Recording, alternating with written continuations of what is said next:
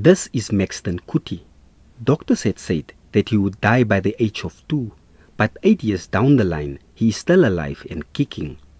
Speaking at the ending over ceremony of an oxygen concentrator for Maxton on Tuesday, the chairperson of Marco Fishing Charity Trust, Reverend Jan Scholes, commended the Coetie family for not giving up on the boy.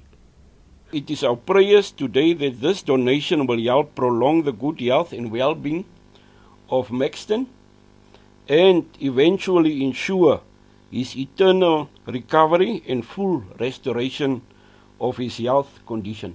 Maxton was legally adopted by his grandparents in 2010 and has since become a full member of the Coetie household. The family's medical aid was fast approaching its limit as medical expenses, which include prescription drugs and transportation to a medical expert in Cape Town, put strain on the family as only one family member is employed.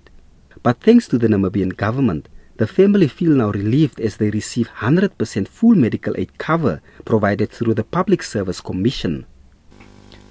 From my side, my wife's side, and the extended family of Maxton, we want to thank Marco Charity for donating this machine for Maxton, and by doing that, you have eased his life, breathing better.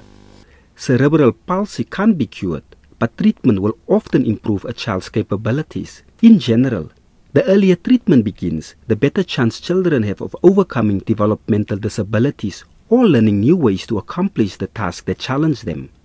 Natangwe Jimmy NBC News, Keetmanshoop.